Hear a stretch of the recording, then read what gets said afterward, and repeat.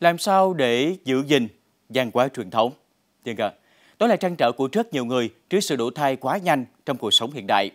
Tuy nhiên, giữa muôn vàng khó khăn, các địa phương tại đồng bằng sông Cửu Long vẫn đang cố gắng giữ gìn và phát huy những điều xưa cũ, mang nó đến gần hơn với các bạn trẻ. Ghi nhận tại lễ kỳ yên Thượng Điền vừa khai mạc vào sáng ngày hôm nay tại thành phố Cần Thơ. Đình Bình Thủy, di tích kiến trúc nghệ thuật cấp quốc gia. Một góc nhỏ được trang trí theo kiểu truyền thống. Rất đông bạn trẻ đến để tìm hiểu về thư pháp. Hầu như ai cũng hào hứng với những đường nét chữ đầy tính nghệ thuật này. Khi mà đến đây thì em sẽ được có được nhiều kiến thức thực tế hơn và sau này em sẽ giới thiệu được quảng bá được văn hóa của Việt Nam.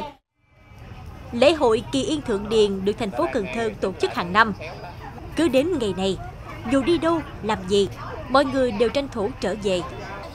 Nhiều món ăn truyền thống đã được làm mới để hấp dẫn du khách, nhất là các bạn trẻ.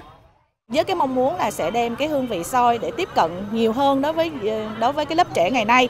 À, vì xôi cũng là một trong những cái món ăn truyền thống ngoài như là à, phở, bánh mì.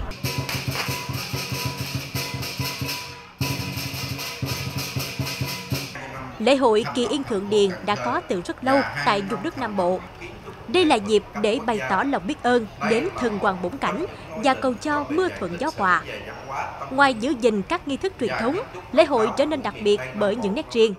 Chúng tôi tổ chức những cái hoạt động văn hóa văn nghệ, à, các cái trò chơi dân gian, rồi à, là mở các cái thư viện sách, rồi à, là những cái hoạt động như là triển lãm về thư pháp, rồi hướng dẫn dạy thư pháp và tặng chữ.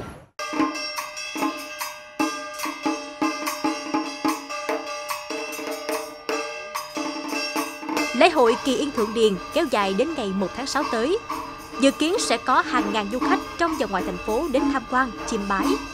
Thông qua những bức ảnh này, văn hóa truyền thống được gìn giữ và ngày càng đi xa.